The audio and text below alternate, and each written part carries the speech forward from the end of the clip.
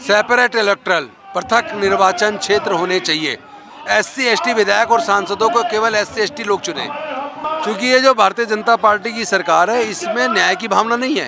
ये सरकार राजतंत्र लाना चाहती है। ये बाबा साहेब के संविधान को खत्म करके मनुस्मृति का शासन लाना चाहती है। जाति जनगणना की बात कर रहे थे तो हम इसका भी समर्थन करते हैं। तीन सौ पैंसठ दिन का काम चाहिए सात सौ रुपये दिहाड़ी चाहिए। और पोस्ट मैट्रिक स्कॉलरशिप बंदी सिंहों का मसला। जो सिख तीस साल से अंदर हैं मनोरिटी के लोग अंदर को छुड़ाने के लिए है। एस सी के बजट की, सब प्लान की हिस्सेदारी का हमारा मसला है जो।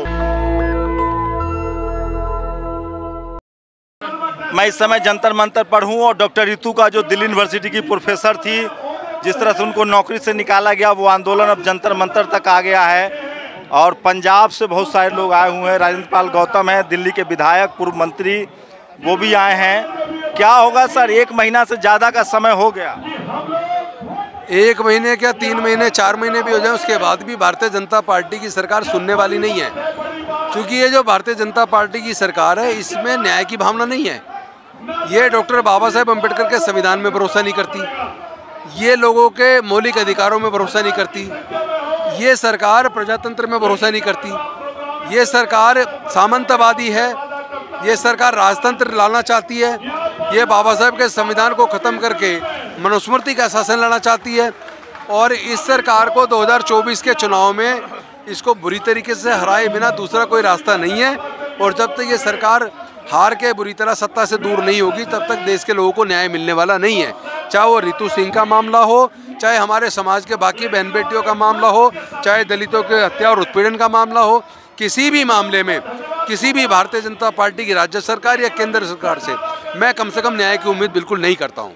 लोग घरों से निकल नहीं रहे हैं ये भी एक समस्या हो रही है। नहीं नहीं ऐसा नहीं है कि लोग घरों से नहीं निकल रहे हैं। पूरे देश के अंदर अगर आप जाएँगे तो रोज हज़ारों प्रदर्शन हो रहे हैं जिसमें S C S T O B C minority के लोग धीरे धीरे एकजुट हो रहे हैं। ताकत बननी शुरू हो गई है। और आप भी अपने इस न्यूज़ चैनल के माध्यम से लोगों को बोलिए कि लोग इकट्ठे हो रहे हैं। अब आप परिवारों के साथ, अपने बहनों के साथ, माताओं के साथ, बच्चों के साथ बाहर निकलिए, इस जंग को लड़ने की तैयारी कीजिए। ये सामाजिक न्याय की लड़ाई है। तो निश्चित तौर पर जीत तो सामाजिक न्याय की होने वाली है। क्योंकि ये विचारधारा की लड़ाई है, एक तरफ़ मनुवादी विचारधारा, यानी ब्राह्मणवादी विचारधारा है दूसरी तरफ़ समतावादी विचारधारा, यानी अम्बेडकरवादी विचारधारा। है तो ये लड़ाई अम्बेडकरवाद बनाम ब्राह्मणवाद के बीच है। ये समता और विषमता के बीच की लड़ाई है। इस लड़ाई में अल्टीमेटली ताकत की लड़ाई नहीं है ये लाठी दलित पिछड़े बटे हुए देखिए ना दलित यहाँ है पिछड़ा वहाँ है। आ, सब बटा हुआ है देश में कोई एकजुट नहीं नहीं नहीं नहीं नहीं नहीं ऐसा नहीं है। इस संगठन ने यहाँ प्रोग्राम रखा इनको दो बजे से परमिशन मिली। उन्होंने वहाँ रखा उनको दो बजे तक की परमिशन मिली। क्योंकि अब यहाँ परमिशन मिलने में भी टाइम तय होने लगा है क्योंकि बीजेपी प्रजातंत्र को मानती ही नहीं है संविधान को मानती ही नहीं जाति जनगणना पर क्या कहेंगे? उसके बाद कुछ असर हो रहा है समाज जग रहा है खासकर ओबीसी। निश्चित तौर पर समाज जग रहा है। मैं पहली बार देख रहा हूँ कि गुजर समाज का प्रदर्शन हो रहा है। और उसमें सामाजिक न्याय की बात की जा रही है। और गुजर समाज जो बीजेपी का पुछलग्गू बना हुआ है वो कह रहे हैं कि बीजेपी न्याय को नहीं मानती बाबा साहब के संविधान को नहीं मानती फंडामेंटल राइट को नहीं मानती। बदलाव हुआ है जाट हो गुर्जर हो किसान कम्युनिटी बदलाव है कि S C S T OBC और माइनॉरिटी सभी लोग भारत के संविधान को हाथ में लेकर डॉक्टर बाबा साहेब अंबेडकर का जय भीम का नारा लगाकर धीरे धीरे एकजुट हो चले और सब लोग तय कर चुके हैं कि इस भारतीय जनता पार्टी को हराना है। सोचिए डेढ़ महीने से डॉक्टर ऋतु धरने पर हैं जंतर मंतर तक आंदोलन आ चुका है बहुजन समाज की बेटी हैं शेड्यूल कास्ट से आती हैं। क्या कहेंगे सर पंजाब से आप लोग को यहाँ आना पड़ा? मैं सबसे पहले आप शंभू साहब के जय भीम कहता हूँ। आपके चैनल का बहुत मैं आदर करता हूँ और हम देखते रहते हैं। आप बहुत बड़ा काम कर रहे हैं बहुत अच्छा काम कर रहे हैं। और आप यहाँ आज आए हैं तो हम पंजाब से आए हैं। पंजाब से हम जो नरेगा का मसला है वहाँ पे बहुत बड़ा मसला है। वहाँ पे उनको उनको पूरी दिहाड़ी नहीं मिलती है। तो हम उसकी लड़ाई लड़ रहे हैं और इसके साथ साथ में हम डॉक्टर रितु के साथ भी उसके समर्थन में भी आए हैं हम। और हम अभी आप जा, जाति जनगणना की बात कर रहे थे तो हम इसका भी समर्थन करते हैं जाति गणना क्योंकि 1931 के बाद में जो ओबीसी की मतलब कितनी बडम्बना है देश में कि जानवरों की गिनती होती है पशुओं की जानवर गिनती होती है। ओबीसी की आज तक उन्नीस सौ इकतीस के बाद ओबीसी की जनगणना ही नहीं हुई जाति जनगणना ही नहीं हुई। तो जब हमें जाति पता ही नहीं होगा कौन कितने पानी में है किसके पास क्या है क्या नहीं है तो हम उनको कैसे अधिकार मिलेंगे? तो ये, ये देखिए काफ़ी संख्या में लोग हैं। भाई साहब क्या कहाँ से आए हैं आप लोग?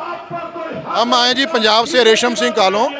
हमारा नरेगा वर्कर फ्रंट है जो तीन सौ पैंसठ दिन का काम चाहिए सात सौ रुपये दिहाड़ी चाहिए और पोस्ट मैट्रिक स्कॉलरशिप बंदी सिंहों का मसला जो सिख तीस साल से अंदर हैं मनोरिटी के लोग अंदर को छुड़ाने के लिए है।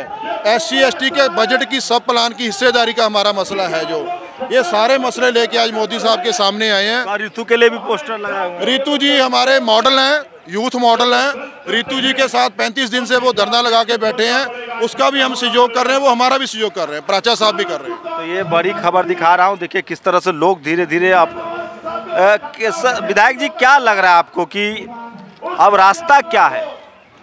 रास्ता तो एक ही बचा है। सेपरेट इलेक्ट्रल पृथक निर्वाचन क्षेत्र होने चाहिए। एस सी एस टी विधायक और सांसदों को केवल एस सी एस टी लोग चुने।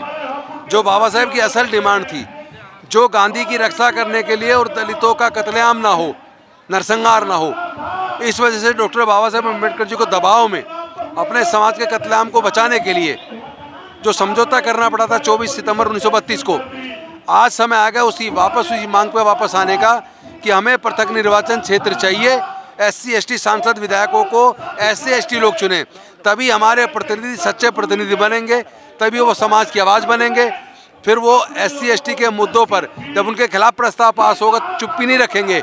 लेकिन आज, चूँकि यह संयुक्त निर्वाचन क्षेत्र है एस सी विधायक को चुनने में सब लोग वोट डालते हैं, इसलिए एस सी विधायक, सांसद मंत्री, वो एस सी के नहीं बन पा रहे, उनकी आवाज़ नहीं बन पा रहे। वो अपने अपनी पार्टियों के गुलाम बन गए और उनकी पार्टियाँ जब सत्ता में होती हैं, वो एस सी के खिलाफ प्रस्ताव पारित करती हैं और वो चुप्पी साधे रहते हैं।